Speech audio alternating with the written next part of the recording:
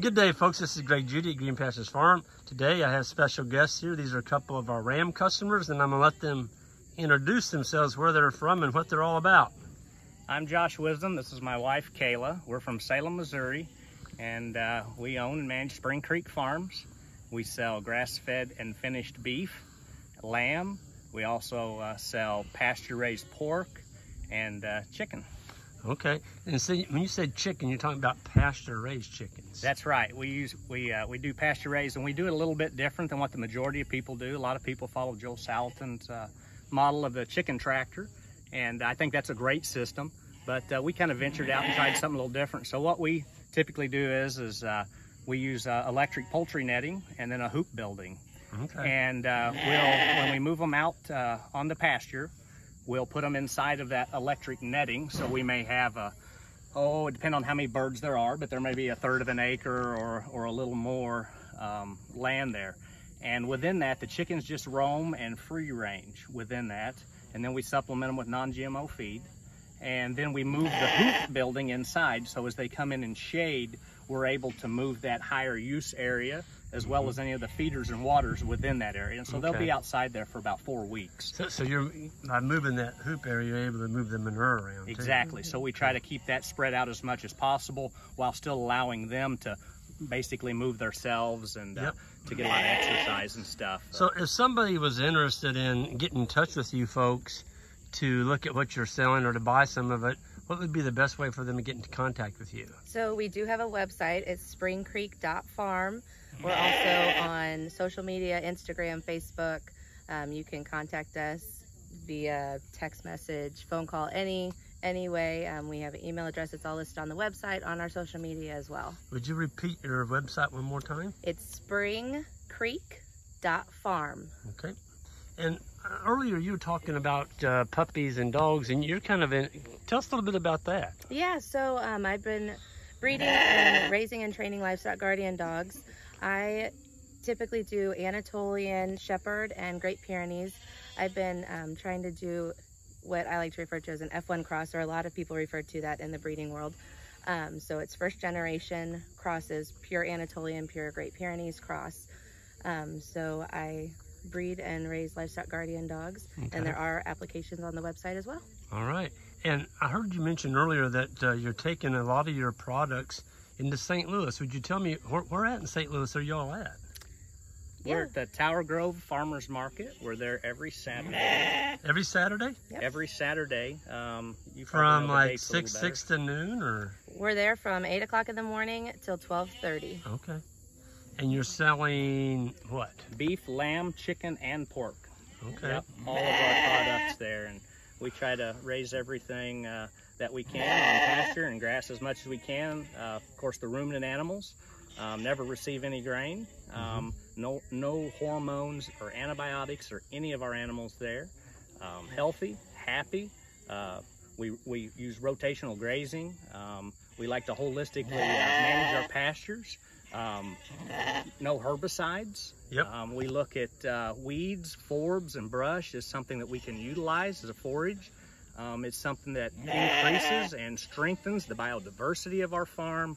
And as we have just continued to move deeper and deeper into that, we've just seen more and more results. Yeah. Positive results. Well, tell me a little bit about the ram you picked out this morning. Oh man, we're just tickled to death for this guy. My wife always wants to pick a pretty one, which which is hard to, to not do. But I always tell her that color has to be the last selection. And I may not be the uh, authority on, on picking the best one, but this one's got many things that stood out to me. He's, he's really got uh, really nice, even and large set of testicles that stand out for a breeding animal. You always want to look at that. Um, I, he's got some really, really nice looking looking hooves on him here, mm -hmm. kind of dark color. You know, yep. a lot of times that's kind of a, a benefit. They can be kind of harder and, and, wear better. We don't do any hoof trimming. We cull animals that that don't keep their hooves trimmed, so that's something we're really excited about here. Um, this animal is really nice, thick. I mean, you can just see he's got a nice hair coat. It seems like these animals always shed off really slick as they get a little more age on age them. Age on them, yep. But but as um, you know, this one looks beautiful for, for the age lamb. it is. Oh yeah. yeah. just you can tell he's going to be a really slick one. Boy, he's got a set of testicles, doesn't he? Yeah. He also has a nice thick backside.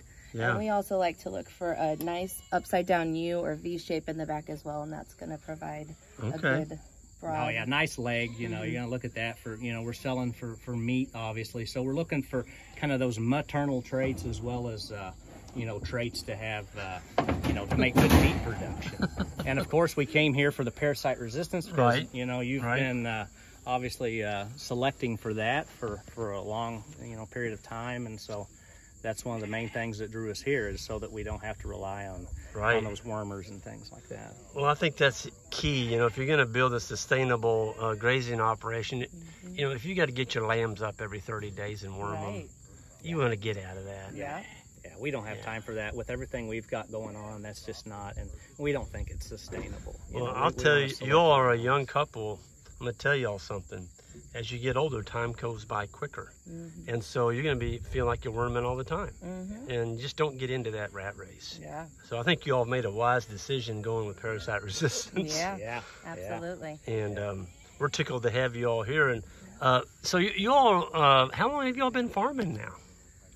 Oh, I've been farming for eight years. Eight? Yep, and Okay. he has been Yeah. just about a year or two longer than me. Yeah, Okay. really. Well, you were saying you you met me at a grazing school. Yeah, it was a grazing conference, Conference. in Cuba, Missouri, the Forage and Beef Conference they have yearly, and I think it was around maybe 08. I'm, I'm not for 2008. certain. Sometime around there. Yeah, that was a and long that time was a huge inspiration for me, you know, back back then. yeah, And I was just beginning back then, actually. Right. Yes, I guess that was. a No, I was farming yeah longer. Yeah, than, so 'cause I was, than I a was, year or two. That was around the beginning of my time, and so that's one thing that was was so good. I wasn't, you know, I was kind of new, so I had kind of open minded, Mm-hmm. you know, and to hear a lot of those things that you were talking about, and uh, Well, and it just really appealed to me because I just really enjoy, you know, thinking about managing the land, and and, and it's the it's probably the first time I really heard the term holistic management, Yep. and, Yep. and that's when you really started talking about that, and. Uh, Well, if you all had to give one piece of advice, and I want each one of y'all to, what would that advice be to a newcomer starting that wanted to do what you all are doing? I I'll can- start. I'll I start can- with you, ma'am. okay. Oh, start with me. Yeah. As- so if you're in a marriage relationship or in a couple relationship, work together with everything. Yeah. Um, try not to butt heads because that is very common in the farming world. You'll hear people joke about working cattle with their spouse or working sheep or Mhm. whatever. Just really try to work together, and um, it will definitely make your marriage stronger in the end. That's awesome. Great. And you, sir? I, I think you know just getting off to a right start you know with with any agricultural thing there's so many different ways of doing things i mean we've been doing this for centuries and some of the old ways have been forgotten and some of the new ways uh, may not be sustainable and I- think a person just needs to, to find their own path, do some research, talk to people like you. I mean, you- you're a Mhm. huge resource, and there's many, many others. And uh, start, you know, I, I think just start small and, and just uh, kind of ease into it, you Yep. know, and, and try to get as much education as possible with things. It's easy to get excited about getting the animals Yeah. and not getting prepared with maybe a facility to handle them in, getting the proper fencing, maybe a livestock guardian dog or something like that. So Right. just starting small, um, getting that knowledge of how to do things, and and and broaden your knowledge base because, like I said, there's so many different ways to do things. I think a lot of times that you'll hear, well, that can't be done. And I think that Greg will attest to that, and probably uh, a lot of people have to agree. Greg's done a lot of things that people say cannot be done. Right. And that's what really opened my eyes. And a lot of those things make farming uh, more profitable, Yep. uh, more fun, Yes. um, more sustainable, uh, better for the environment. Absolutely. I mean, Yeah. it's just uh, so so. Just keep your knowledge base broadened and and just uh, be open to new ideas. All right. Yeah. Well, thank you both so much.